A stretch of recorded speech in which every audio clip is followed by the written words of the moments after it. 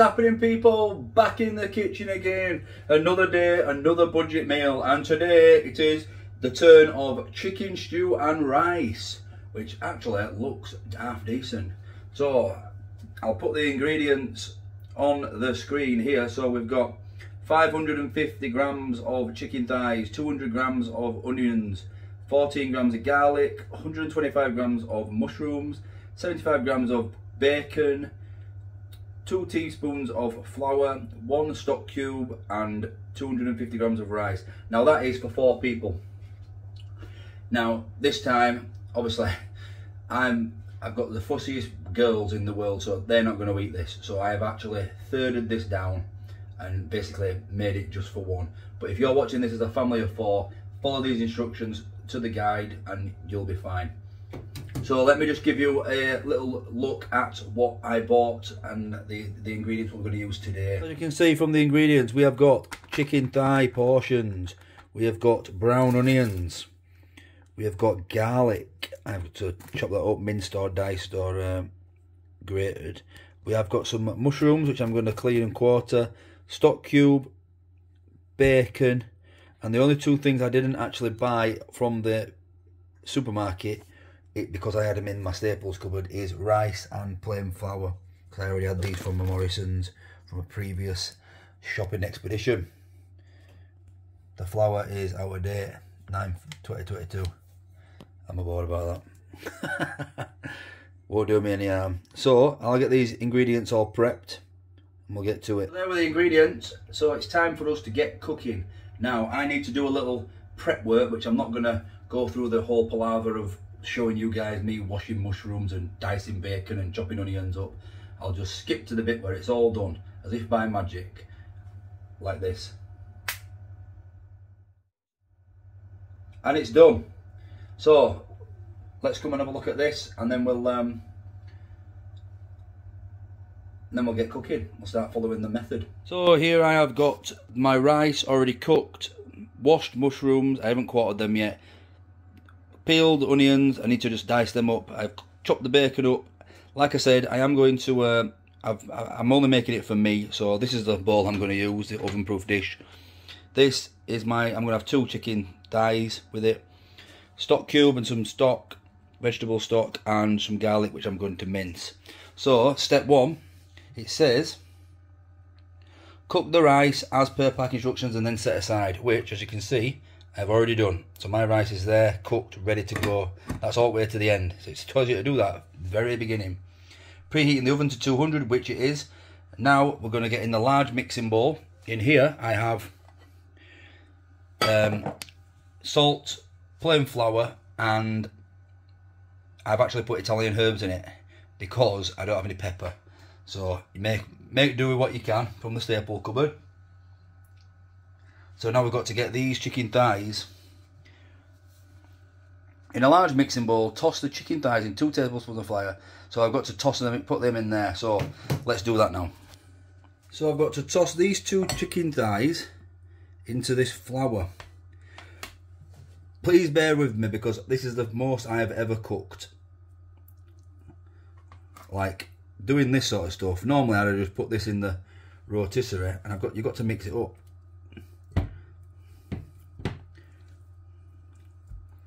I don't know if this is going to add flavour or what, but it's got to do this and then sit, uh, set aside. This is all new to me.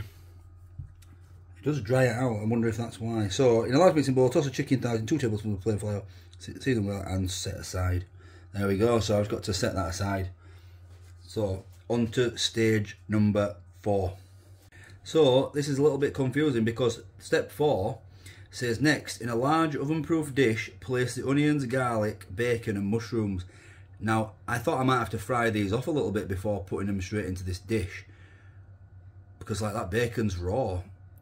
The onions, is it going to cook in the oven or should I be frying this off? Am I just thick as... I'm, I'm, like I say, I'm no chef, so I'm just going to follow it by the letter and just put it straight in here. It does go in for 15 to 20 minutes, so you can imagine the bacon will start to cook. Bit worried, but oh well. So I put the garlic in and diced a couple of the onions up, and I feel like that because I've got such a smaller dish, I'm a bit bad at judging um, how much I should be putting in, so I think that I'm gonna save. I'm gonna put some. There's just gonna be too much for this dish, so I think my best bet is. So I've got to mix all this up now. That's going to be enough for one portion there. So that's now, let me get my steps up. So the next step, now we've got this vegetable bacon stew base, the next step is to place the dusted chicken thighs in the dish over the top of them. So, like I said, I've only got two because I'm only doing one for me there's not a lot of room here, but they fit in there nicely, two chicken thighs.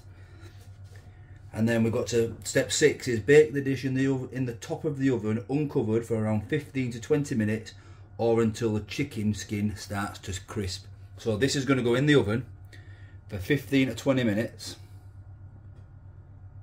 and that's and then we'll go on to step seven. It's in the oven for 15 to 20 minutes until the chicken skin crisp. You know, I'm going to have a bacon and mushroom sandwich tomorrow for my breakfast with the remains of this. Always look on the bright side of life and all that. Let's hope that this uh, this chicken stew is to actually work. oh, can happen.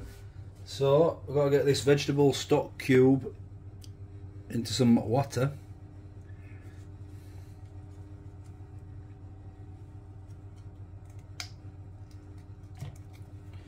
There we go. Give that a mix up.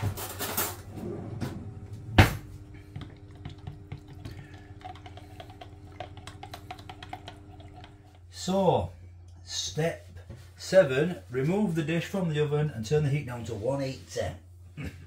so that's what I've done. That is the dish as it stands at the moment. And then it says add 250ml of the stock to the dish and return the dish to the oven uncovered and cook for a further 10 minutes. So I have got the stock. Obviously, I just think you need to um, cover cover the vegetables and could always sieve it out after, I suppose.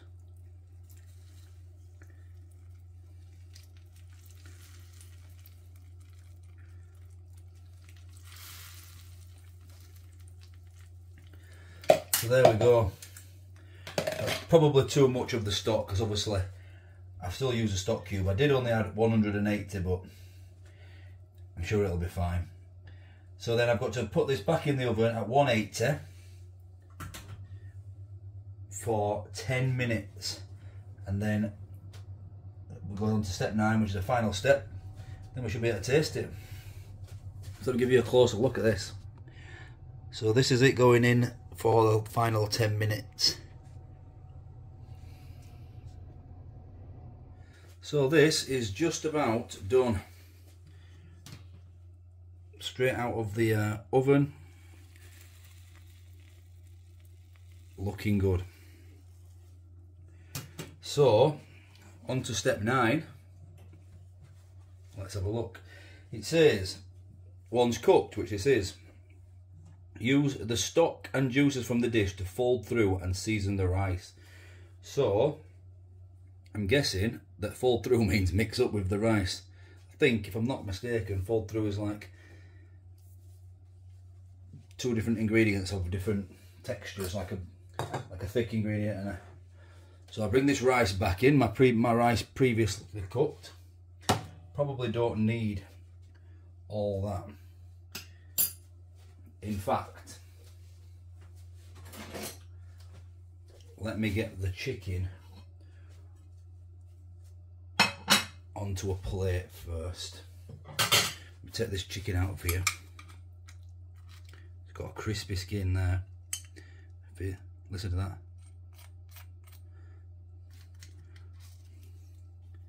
So we've got the chicken out. Put that to one side. we've got all this lovely stew. So it's basically bacon, garlic, onion and mushroom stew, isn't it? So it's time to plate it up. We're going to start with this seasoned rice here.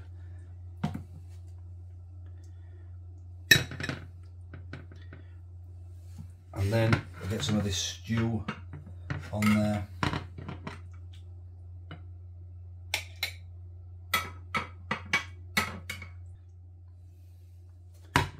So that is like the stew. And then we'll return these two pieces of chicken to the plate. To be fair, I probably could get a second portion out of this if I just had one piece of chicken on this plate. But I'm not going I'm going to go with two.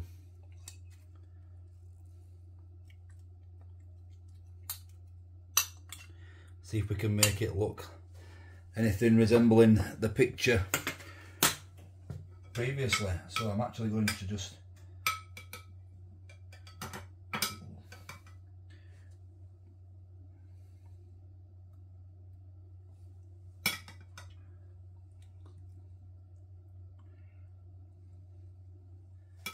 And there we have it. Chicken stew and rice.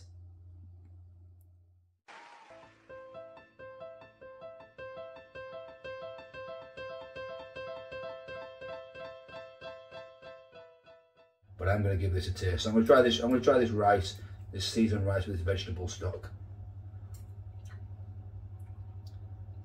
Oh, that vegetable stock is really nice. Gives it a nice flavour.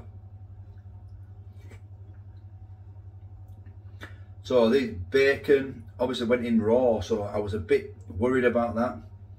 Bacon and mushroom. So we're gonna give this bacon go.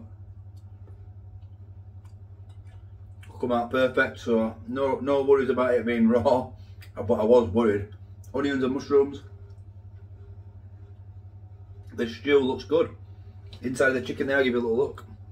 Inside the chicken is perfectly cooked there. That's the bacon, the pink one inside the chicken is perfectly cooked. I'm going to give it a go now. Oh yeah. Even with like the gravy, gravy, the stew, it's still got a bit of a a crisp on these chicken fillets. And even though I thought I, mm, it's really nice actually.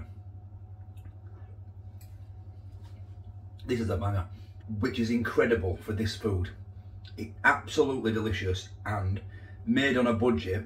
All just essentials, uh, essentially. Just essentials, essentially. This is an absolute bargain, an absolute steal.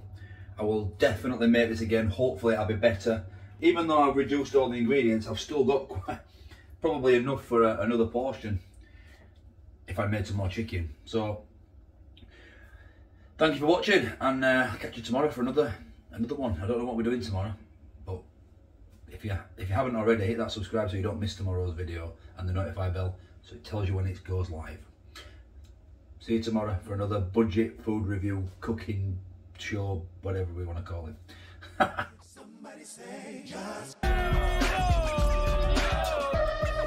What's happening, people? Back in the kitchen again. Hope you're all fantastic